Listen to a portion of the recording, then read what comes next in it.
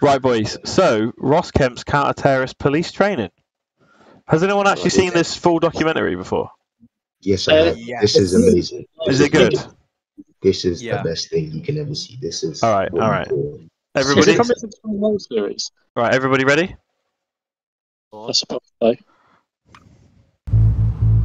Oh, I love that. I love that Ross Kemp music. It's always the same, for isn't it? 20 years. But I'm about to witness a new type of training that until recently was the exclusive domain of special forces. I'm going to see firsthand what these armed officers are put through. This Are is they- the first time that anyone's been Am I right in saying that these are all volunteers? They don't get paid any extra, do they? Um, I don't know They about do. I'm, I'm- They get paid extra. I'm pretty sure they get paid extra for being special firearms officers and counterterrorism officers. Got you. Okay. Because yeah, their job is crazy different. Right? Yeah, They, yeah. get- they get to ride around on motorbikes in central London. That's pretty cool. I, I have seen a video of a guy cruising through central London, and he's a CTSFO with full rig on, on a like a white BMW type uh, off-roading kind of thing. yeah, they're, they're pretty cool doing nowadays. Yeah. Even back then, but like yeah, this is this is really cool, top quality. Yeah. All right. Granted access to see a counter-terrorist police team training. This team is made up of regular police officers who have volunteered for the role. Their training is intense and involves an extra 14 weeks of tactical Oh, are they drills. are they um the prac rounds? What they called? The little clay, not clay, wax rounds. Um, UTM's. Uh, Yeah, Yeah, I think they are simunition round. simunition. That's it.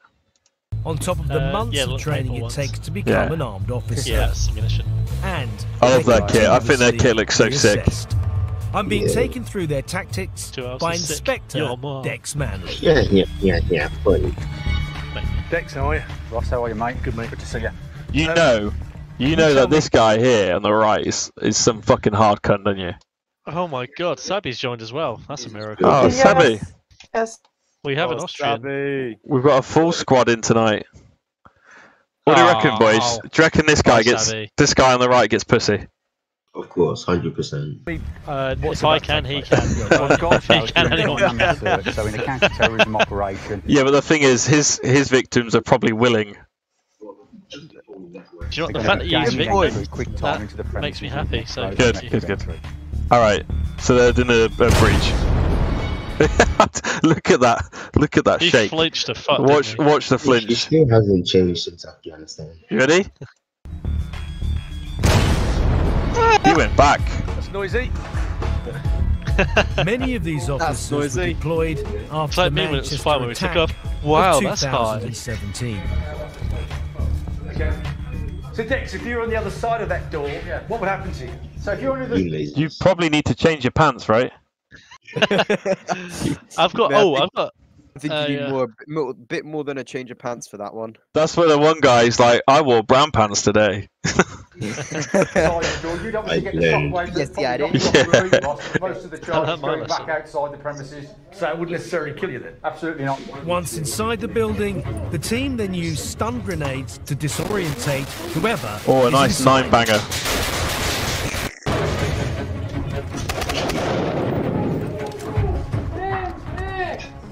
Okay then, Ross. How about you coming inside this time and you being the os- Um, back to firearms, boys. Are they they're um CMX, MCX. MCX? yeah. They're pretty sick, aren't they? I like them. Yeah. Stitch. Go for it. Yeah, yeah. You're going to go into this room now. So when the team come in, mate, they're going to make an entry in here dynamically. They're going to use uh, stun grenades to get into the premises there or into that room, disorientate you, and then they're obviously going to deal with you as a hostage in the room. And if there are actual hostage takers in there, what would happen to them? Depending on obviously what kind of threat they Yeah. present, the hostage takers will also be dealt with or neutralised. They won't depending on the see- they won't see daylight. offering. You know when he says neutralized, in his mind, in his mind, he's seeing some flashbacks right there. Back against the wall. Yes. Yeah. In his, in his mind, he's seeing some scenes from Ultimate Force. oh, I love the Ultimate Force. That was so sick. Watch it now. It's cringe fest, but it's just like memories. Is that the one where the uh, REME lad gets called a fucking grease monkey? No, he he was a RLC chef, wasn't he? You're an RLC Yeah. chef. Th- This is the I- one where all they do is just double tap everybody in their face and says double tap. Yeah. towards Double either tap you is the or killing the officers. Double tap. If you want to stand over in the corner, mate. Right. Right, hang on, hang on, hang on.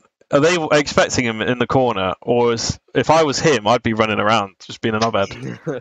Yeah, so he's meant to be hostage in one of the rooms, and they fucking breach the room, and he just gets dragged out like a fucking Yeah. ragdoll. It's actually tense doing this. I mean, I swear that happened what's about to happen. Yeah, It's- you- it's- it does. I wouldn't rate this as intense. That's Glastonbury. Shut up. Get it? Shut the fuck Intense. up. Get out. Get out. Get out now. Sure, if I could disconnect you, I would. Oh wait, I can.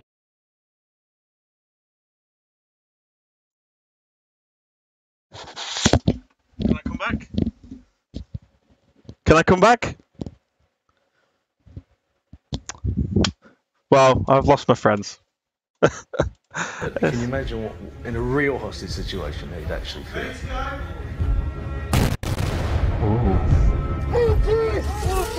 We're like in a slow motion explosion.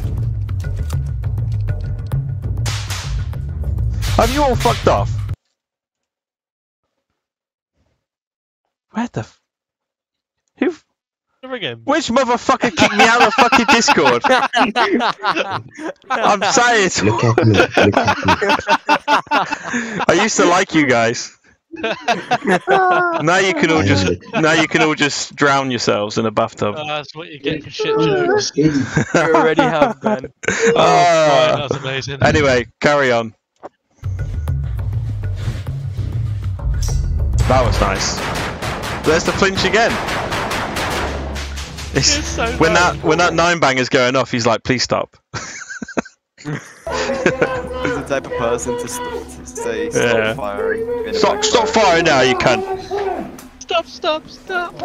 Stop, stop, stop, index, index. Very I'll effective. index you mine. Yeah, whether you're a, a hostage or a hostage taker, you're gonna be on the back foot straight away. The blinding light, the extremely uh, loud bangs, um, disorientates you. When you joined the police, did They you, look fucking sick with their fucking in your red wildest dreams, think Huh?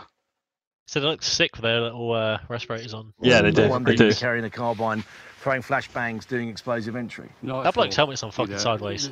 Can we see that? 27 years Yeah, it is. it I've is. been in the job. Um, and It's probably from him to when I adjusting his first started ampivox. walking the beat, Probably. It's a million miles But look, look at the gap. I think Look at the gaps. Oh, go back. Yeah, Look at the obstacles gaps. Tend, obstacles tend to have big gaps. Not gonna lie. They, they, oh wow, wait, no, those He's- contacts are that's that is definitely not a tight seal there. That is Oh, wait, no, one hundred percent effective. It's because of his arc mount. He's kind of resting it slightly on the lip of the obstacle. Or is he? T- has he just done that so he can talk and hear himself? Yeah, probably. Probably because I started obstacles walking the just beat. turn. It's a million miles away I just from slapped the where bloke I am behind him now. fucking I think the end sideways, of the down day, on the head, poking we out the volunteered this. We know that we're All right, moving next we need to remind us of you. So we took that It's on. my dad. dare it's you, not- sir. People watching Hang on, this shut up, shut will up. say, look, policemen shouldn't be doing this. This is the, the role of the military. How would you argue against that? Yeah, this is quite a, a high-end tactic that you've seen us do. But the very next day, we could be dealing with relatively low-level gun crime, and we go into places that have got plenty of innocent people in there, friends, families, associates, and we still need those policing skills to be able to deal with those people as well. But so it's sh- not. do you guys reckon it's it's harder to train special forces to do their job, or do you reckon it's harder to train police to do Harder special forces civvy. job? Huh? It's harder to train police because police actually have to also follow the law. While special forces, if you literally reach for anything, they can slot you and say it's justified, and they can dead check you, and they can just do a bunch of other stuff which they don't need to do. Whilst police, they need to follow law, whilst assess the threat, whilst think is he actually reaching for a gun? Because if if there's no gun, Yeah, but that's finished. He's getting Next. cancelled by all the Hang on, cameras. That's hang on, saying it's a hang on, let- Let Rex talk because he's actually speaking sense. If he, if if no gun is found, his job is gone. His life is gone. He's finished. If no gun is found for special forces, well, he still posed the threat because he was moving erratically. So yeah, it's harder to train police to do their job. because Yeah. they can never be able to reach their job. Well, I, I can't you're saying so. What you, to me anyway, the question was: Is it harder to train them to do that job? You're sort of saying the job's harder Is, for the well, police. is it harder to make cops special forces, or is it harder to make special forces cops? That's a better question. Cops, Um, special forces. Special forces. Yeah. Yeah. All right. Yeah. Because as soon as you're special forces, your mind is completely different. you Yeah, see. your your compass mentis operandi is fucking in another place. Yeah, you see him as an enemy instead of a suspect. Yeah, yeah. All right, let's uh let's rate it. So MDP got six. Uh, Yeah. CTSFO, C- CTSFO getting nice. They're 10, 10 being SF, one being RAF Reg. Where are we going? Eight. Six. I'm I'm a, Seven. I'm gonna jump up there at, uh, at an eight because they'd be a ten if they did more active operations. But there's nothing really they can do apart from counter-terrorism and intelligence. But is that not handed over to like MI5, MI6? I don't know. It's not my Uh, job. I mean, apparently SAS was doing that after the London Bridge attacks. They There did. a picture of a, of a homeless guy with a canine dog. And everybody was like, "Oh, you can kind of see a muzzle of the MP7 sticking." I remember that. I remember that. Hang on. Uh, let me. Somebody reposted. Um,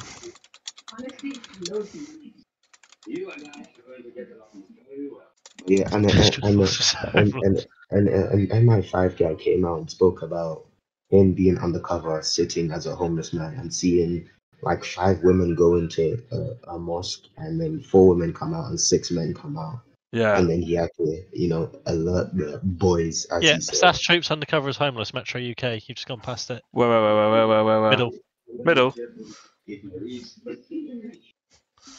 But yeah, I, in fact, no, I don't think it was SAS. I think it was the Special Reconnaissance. Brigade. Yeah, it'd if anything. Yeah, definitely BSRO. Soldiers. they- Let's read. Let's read it. Hang on. Uh, undercover soldiers posing as beggars and road sweepers are ready to strike. SAS troops armed with Heckler and Koch MP7 rifles are in disguise and have been. Right, who's released? Who's give this away? Because I mean, personally, I don't think it would have been an MP7 because. Uh, If you're telling me had been running them. Dan, the town crackhead's actually just some fucking operator. yeah, Shit. yeah. Well, he, he was sucking me off behind the bu- the fucking bus station for a fiver the other day. I don't think Oh, he yeah, was. He was a, he was a bootneck before that.